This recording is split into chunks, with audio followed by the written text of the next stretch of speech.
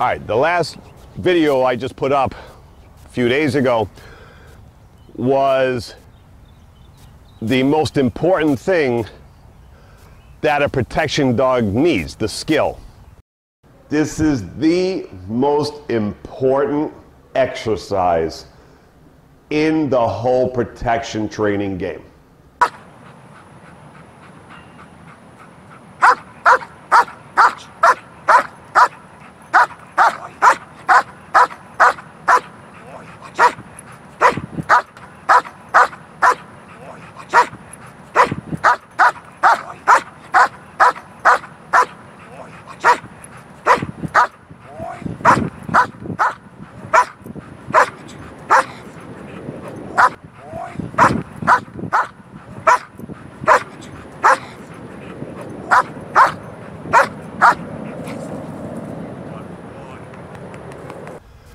And I just heard from somebody a few days ago, and they were saying how impressive it is that dogs fly and hit and police dogs and all that.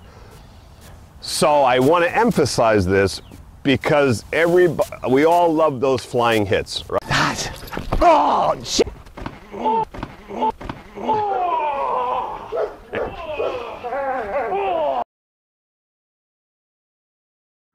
Oh, damn.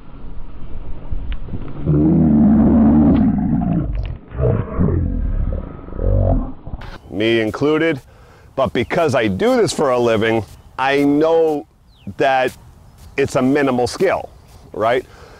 If you have a good dog and good genes, done a little prep work, the flying takeoffs are an elementary skill, right? They're low level. That's easy and doesn't take much skill to send a dog and do flying hits, right? With a good dog.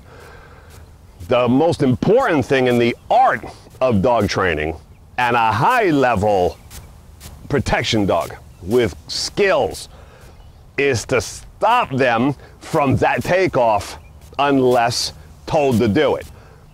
But this is the art of protection dog training. Holding back that energy and that passion to bite, right? I mean, Axel, he's got crazy drive. He is insane when it comes to toys or bite work, all that, right? It's exactly what we wanted when we bought him. So, harnessing that and making him hold himself back is not an easy thing to do. Learn control and steadiness and hold all those emotions back. Hold that drive, hold that desire, that passion, right? He's got to keep a hold on that throttle. That is where the art comes in, not the takeoffs. You see it all the time. People just hold them, right? There's no skill to that. Great to look at, love the hits, love, but that there's no real skill in that, right? Sometimes we have to teach a dog to target there properly. That takes some art, right? But the whole thing of that with no control and descent really doesn't take much skill at all. So, holding that energy, holding the leg while staying in protection, he's got to do several things at the same time. While he's in drive, go, come on, come on, give me the bite, right? So, here I started our first day I was showing how to get him to start wanting to hold there for his favorite toy, the ball.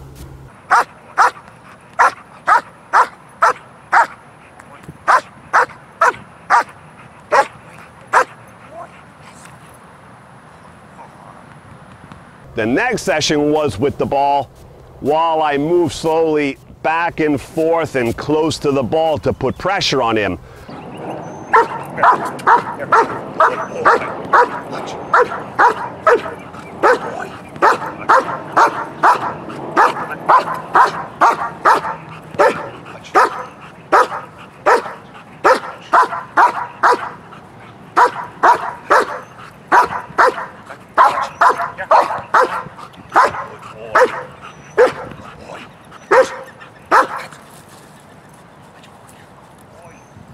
To make him, we go float away from it. He stays with my body while staying in drive. If we get close to the ball, which is even harder, because now it's right in front of his face, uh, Out.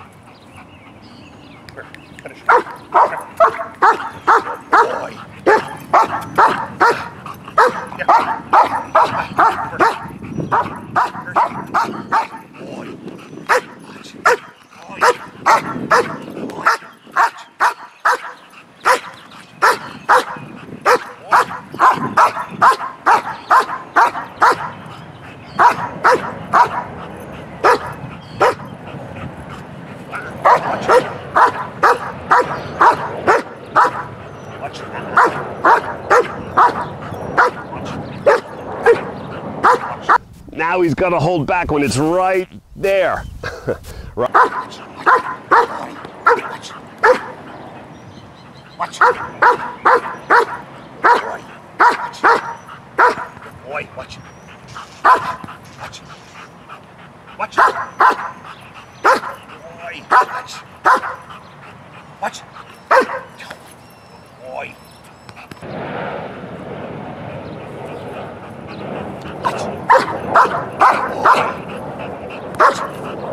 Boy, watch. Boy, watch. Boy, watch. Boy, watch. Boy,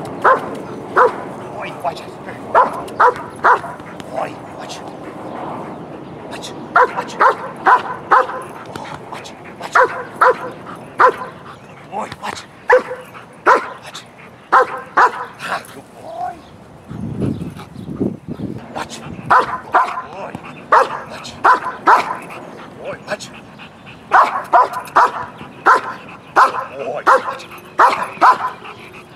Boy, watch. Watch. Watch. Boy, watch. Boy, watch. Watch.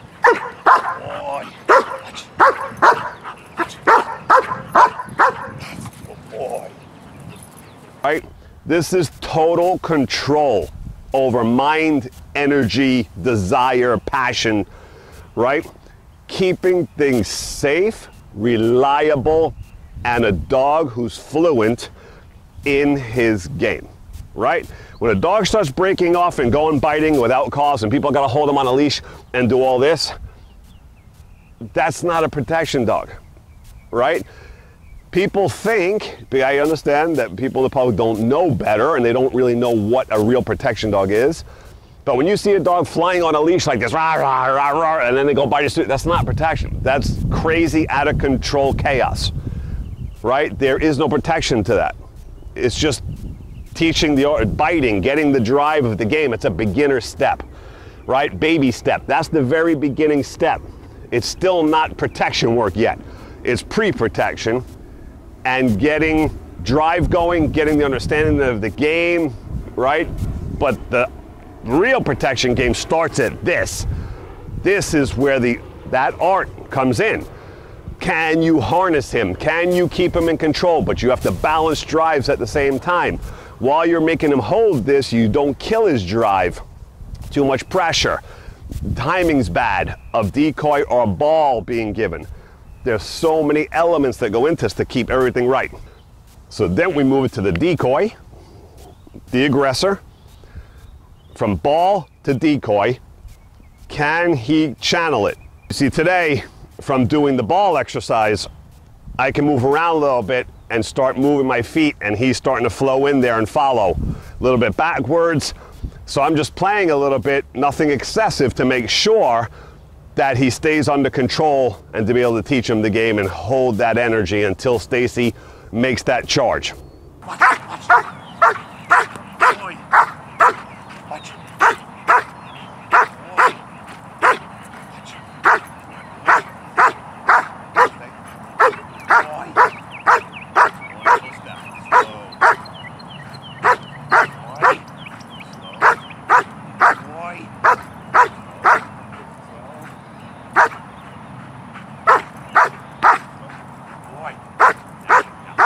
Yes, good boy.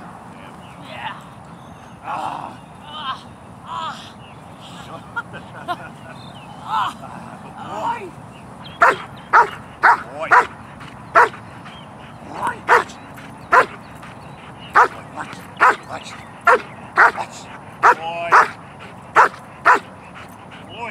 Watch. Boy. Watch.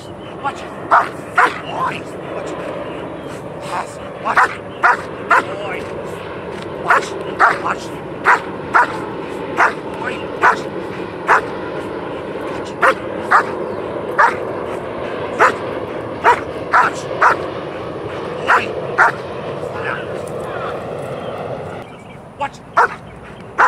Watch.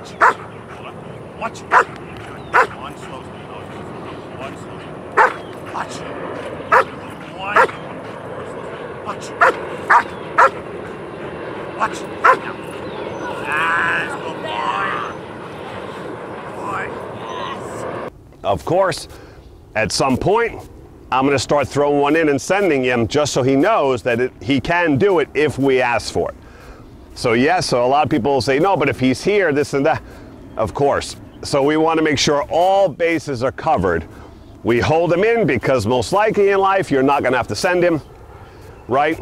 We want to make sure the threat is there.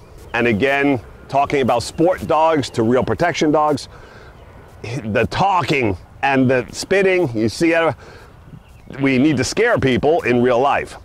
Sport dogs generally stay quiet, right? And then they're sent on a bite when they're quiet. Counter reality, right? So this is a threat we're trying to hold.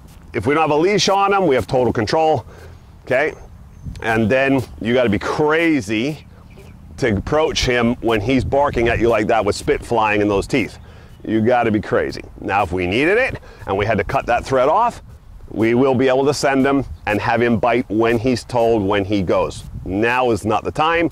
That's after we have all control done, not in the beginning, because then you're gonna have a dog who flies and flies, and then it's very difficult to hold them back. So, I'm gonna have a whole series on this soon. Been filming little by little by little when I get a chance to actually put this into an instructional video. So, also, today we used a brand new bite suit I have, thicker than my old one, but Stacy's still getting punished. So today we decided to change jackets and go to the new one because every day his bite has gotten harder and harder and Stacy can't take it anymore. In the sleeve we started, she couldn't take it anymore.